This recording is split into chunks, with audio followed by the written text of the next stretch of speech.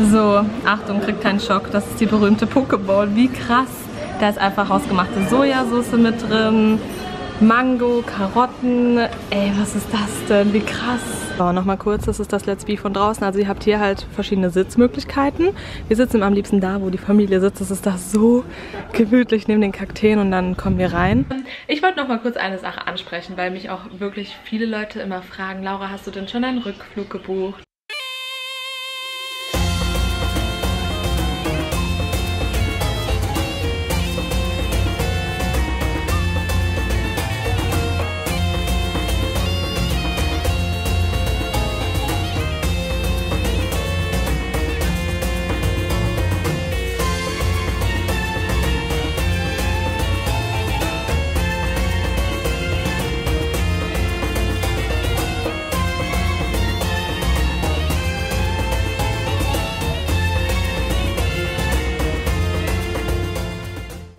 Und herzlich willkommen zu meinem neuen Vlog. Nicht wundern, also falls ihr mich noch nicht kennt, hey, ich bin Laura. Nicht wundern, ich habe vergessen, das Intro abzudrehen. Fragt mich nicht warum, aber here we go. Ich wünsche euch ganz viel Spaß bei diesem Vlog. So, Leute, die Zeit ist gekommen. Wir gehen jetzt auf jeden Fall ins Let's Be. Das ist hier in Tamrat so ein richtig, richtig cooles Restaurant. Und zwar gibt es da wirklich Bowls, da gibt es Tacos, da gibt es Ey, wirklich, wenn ihr es gleich seht, da gibt es einfach so richtig fancy Food. Vor allem ist das halt auch alles mega, mega gesund und es sieht einfach krass aus. Es, ist, es sieht, es ist wie so ein Instagram-Café, so kann man es schon fast nennen. Und da nehme ich euch jetzt mal ein bisschen mit. Oh, ich freue mich, wie gesagt, schon die ganze Woche darauf. Falls ihr mich auf Instagram verfolgt, dann habt ihr es mitbekommen.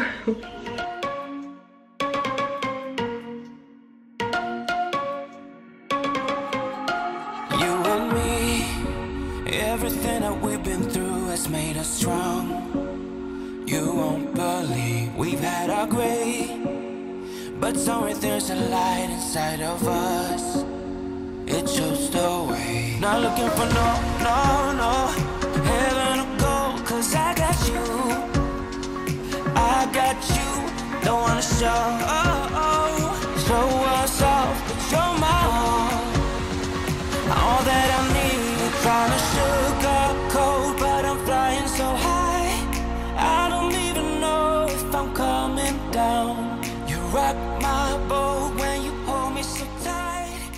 So Leute, schaut mal, hier gibt es auch so Gärgetränke und ähm, das ist quasi wie eine Art Tee. Und hier, schaut mal, da unten seht ihr zum Beispiel voll, wartet, was drin ist. Also da ist zum Beispiel Ingwer drin, Ananas, Basilikum, Limone. Die haben hier drei Sorten. Voll krass, hier steht auch einfach bei Let's Be.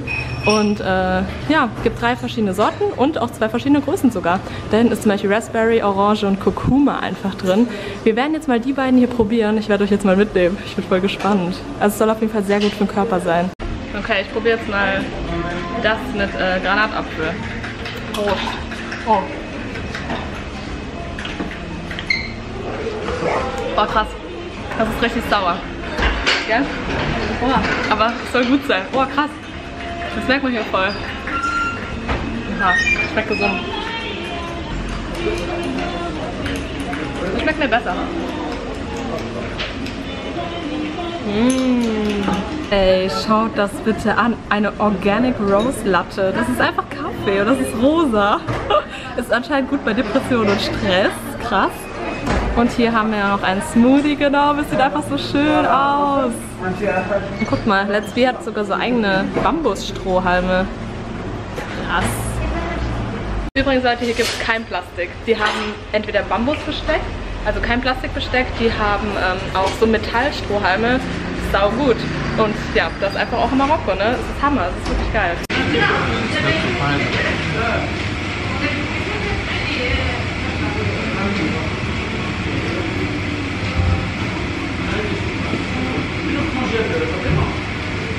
Okay, es geht weiter, Leute. Tacos. Hm, die haben wir letztens schon mal gegessen. Da sind Shrimps drin, Radieschen, Himbeeren. Dann gibt es hier noch zwei leckere Dips. Ist so geil auch einfach, dass hier das ganze Kleine ist. Fällt einfach total auf. Eigene Schneidebretter. Oh, lecker, ey. Hm. Mega. Könnt ihr es riechen? Hm, hm, hm. So, Achtung, kriegt keinen Schock. Das ist die berühmte Pokeball. Wie krass. Da ist einfach hausgemachte Sojasauce mit drin. Mango, Karotten. Ey, was ist das denn? Wie krass. Okay, guten Appetit würde ich sagen.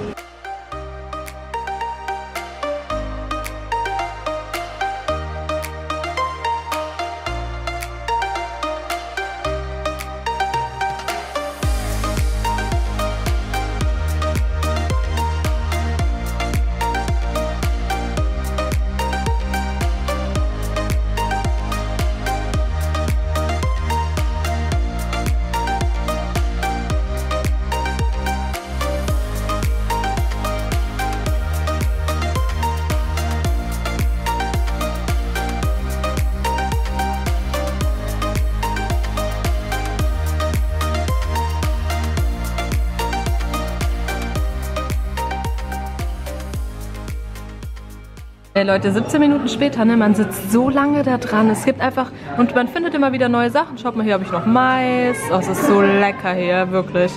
Und Fliege. Weg. Das ist so geil. Wie ich euch schon gesagt habe, gibt es natürlich auch Frühstück-Bowls. Und Leute, wir hauen richtig rein heute. Wir haben jetzt hier so eine Acai-Bowl. Fliege. Und da sind Kiwis drin, Beeren, wieder Chiasamen, Kokosflocken, Flocken, Banane.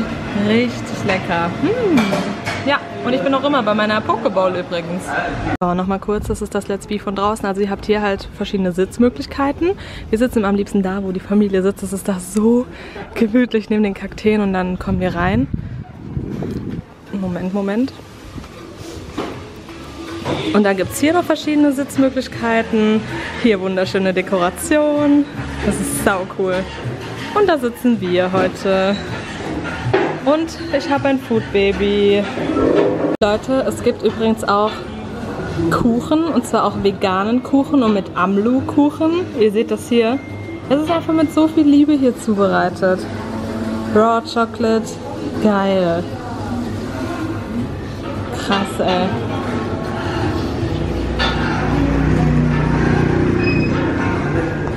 Und einfach vegan. Schaut mal, hier sind jetzt zum Beispiel äh, die Bambuslöffel oder Holzlöffel eher gesagt. Die verkaufen auch Sachen hier.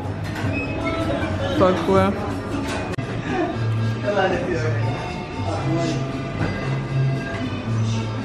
Übrigens Leute, äh, Let's Be liefert auch. Das heißt, ihr könnt den ganz einfach über WhatsApp schreiben. Die Nummer findet ihr auf Instagram. Und dann können die auch äh, natürlich zu euch nach Hause was liefern. Oder ins Hotel oder wo auch immer ihr seid. So, wir sind jetzt auf dem Heimweg. Es war so lecker dort. Ey, ich schwör's euch, schaut mal. Wuhu, so geil.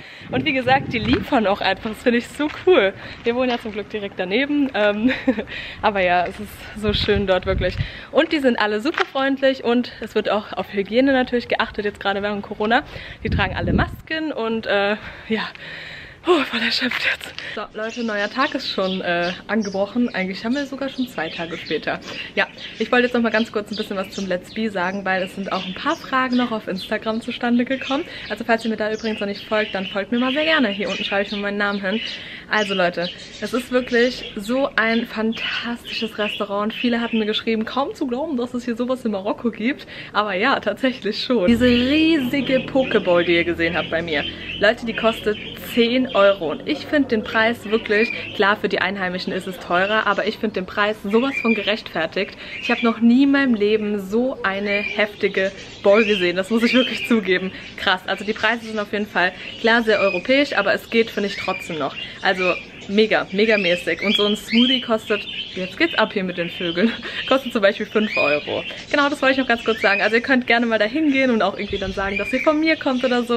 Oder ihr könnt mir einfach dann schreiben, wenn ihr mal dort gewesen seid und dann gebt mir mal euer Feedback. Das ist wirklich einfach nur geil. Ich habe da gar keine Worte für. Ja, und äh, Leute, übrigens wollte ich euch auch noch erzählen. Ich habe letztens einen Livestream gestartet auf Instagram und dann hattet ihr ähm, mal zu mir gesagt, dass wir mal den Eltern von meinem Freund, also meinen Schwiegereltern quasi, mal deutsches Essen kochen sollen. Und wisst ihr, was wir gerade machen? Wir machen so Kartoffelpuffer mit Kohl, Zucchinis und äh, so ein bisschen Hackfleisch. Also hat schon mal leichte deutsche Andeutungen. Das machen wir jetzt auf jeden Fall. Ich zeige euch mal gerade, wie es aussieht. Und äh, ja, ansonsten, es ist einfach nur sauschönes Wetter. Wir waren gerade noch spazieren, haben coole Bilder gemacht. Ich blende euch mal das Bild ein, was wir heute hier gemacht haben, an der Dattelpalme. Mhm, voll geil. Die Katzen sind wieder am Schlafen. Es ist nämlich jetzt, ich glaube, ja, 17 Uhr. Die Katzen sind auf jeden Fall am Schlafen. Na, gönnt euch. Geiles Leben. Chico! Hey, mein Süßer. Übrigens, Leute, der hat sein Ohr schon wieder aufgekratzt, ne? Äh, Diego? Ja, was riecht so gut? Alter. Schaut mal, Leute, ich habe übrigens hier zwei mega, mega, mega schöne neue Ketten an. Ich finde die so geil. Aber dazu später noch mehr. Nala. Diego.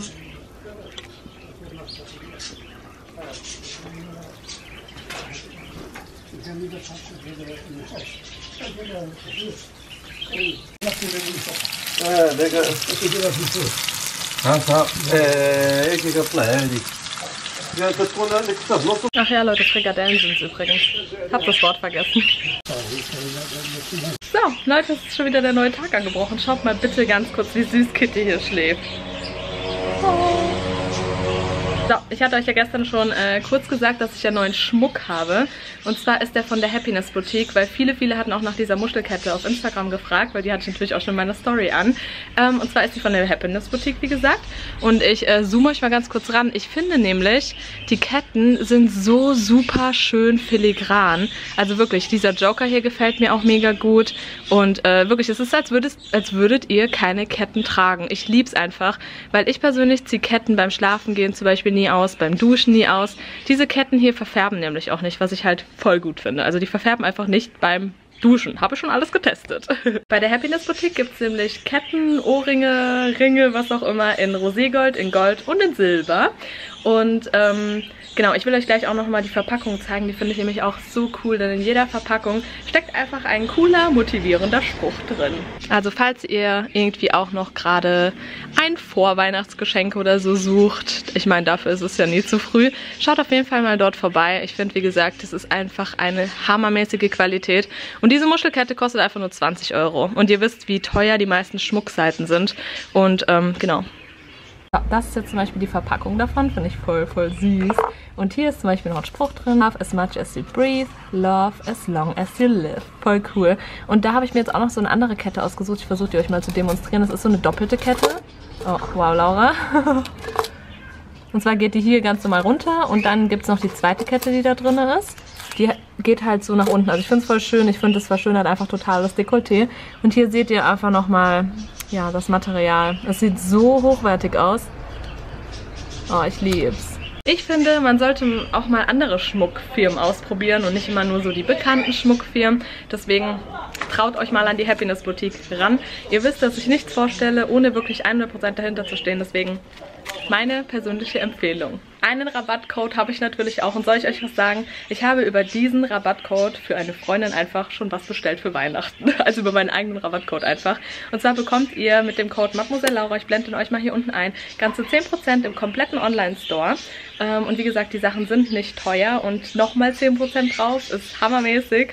Ähm, ich wünsche euch auf jeden Fall viel, viel Spaß beim Shoppen und ähm, ja, alles, alle Links befinden sich natürlich in der Infobox, da könnt ihr auch nochmal vorbeischauen.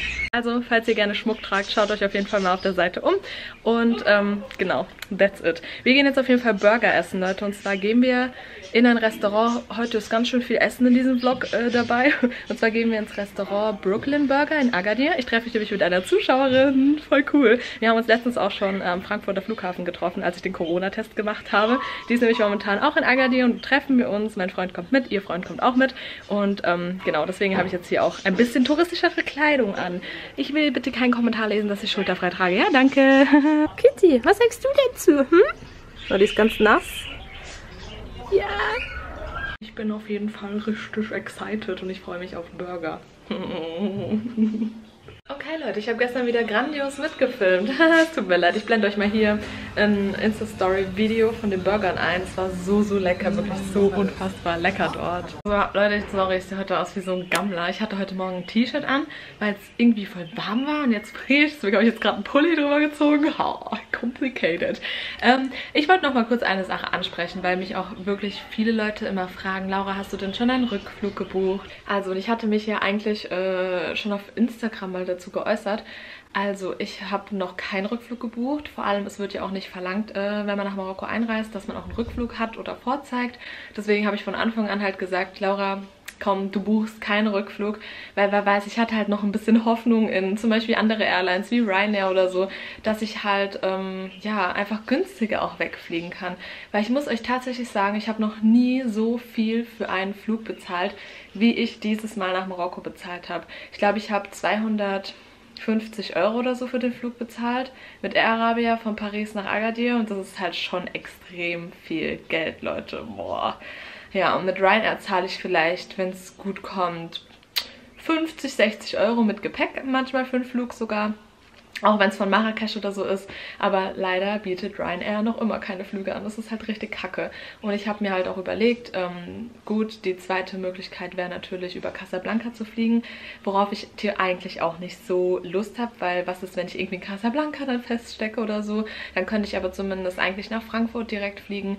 Aber Also mein Plan ist es eigentlich, ich lege mich auch ganz ehrlich noch nicht fest, ob ich jetzt Anfang Dezember, Ende November, Mitte Dezember oder so fliege, da ich äh, einfach mein Ziel ist es einfach vor Weihnachten zu Hause zu sein. Und Weihnachten ist erst am 24. oder Heiligabend, eher gesagt. Ähm, deswegen mache ich mir da echt keinen Stress. Ich versuche, denke ich, halt so lange wie es geht hier zu bleiben, weil ich einfach keine Lust auf Deutschland habe. Keine Lust auf diese schlechte Laune und das schlechte Wetter. Ich habe nämlich auch gehört von ein paar Leuten, dass man tatsächlich sogar nach Paris fliegen darf, obwohl Frankreich ein Risikogebiet ist. Aber wenn man halt äh, sowas vorweisen kann, zum Beispiel ein Bahnticket oder so, dass du halt weiterfährst und nicht in dem Land bleibst, ähm, dann kann man theoretisch noch nach Paris oder Frankreich generell fliegen. Und es wäre halt mega gut, weil ich würde halt schon eigentlich gerne von Agadir direkt fliegen. Ja, Genau, so ist der Plan. Also ich habe noch keinen Rückflug gebucht, weil das musste man ja nicht. Ich habe ja nur eine Hotelreservierung gebraucht, ähm, um ins Land zu fliegen und äh, Genau, und ein Corona-Test halt. Daran hat sich übrigens auch noch nichts geändert, falls ihr euch das äh, fragt. Man braucht noch immer einen Corona-Test, eine Hotelreservierung. Hotelreservierung übrigens ist scheißegal, ob eine Nacht, zwei Nächte oder eine Woche. Also Hauptsache, du legst irgendeine Hotelreservierung vor oder eine Hostelreservierung. Ich hatte nämlich eine Hostelreservierung. Ähm, ja, genau, Leute. Das ist es eigentlich. Also, ich weiß noch nicht genau, wann ich genau zurückfliege und ich mache mir da auch keinen Stress, weil ich möchte echt die Zeit hier einfach genießen, ohne mir darüber Gedanken machen zu müssen. Weil mir schreiben äh, immer voll viele Leute, ja Laura, an deiner Stelle würde ich wirklich in Marokko bleiben, hier in Deutschland. Äh, in Deutschland geht die Post ab, so nach dem Motto mit dem Coronavirus und mit den Zahlen und und und. Ich würde gerne hier bleiben, glaubt mir, aber ich will an Weihnachten einfach zu Hause sein. Weihnachten ist einfach das Familienfest und ich war zweimal an Weihnachten, glaube ich, bis jetzt nicht zu Hause und ich will unbedingt an Weihnachten wieder zu Hause sein. Ja, und dann habe ich ja im Januar, Februar, März und April ja noch mein Praktikum. Da muss natürlich auch da sein. Ja, so, jetzt genug gelabert, dann wisst ihr jetzt auch mal nochmal Bescheid wegen dem Rückflug, äh, was für Gedanken ich mir da halt gemacht habe oder auch nicht gemacht habe. Und ich bedanke mich jetzt erstmal, dass ihr das Video angeschaut habt. Und Leute, wie gesagt, nochmal zu den Ketten hier. Links sind alle in der Infobox und denkt dran, mit meinem Code spart ihr 10 Prozent. Nur, dass ihr nochmal Bescheid wisst.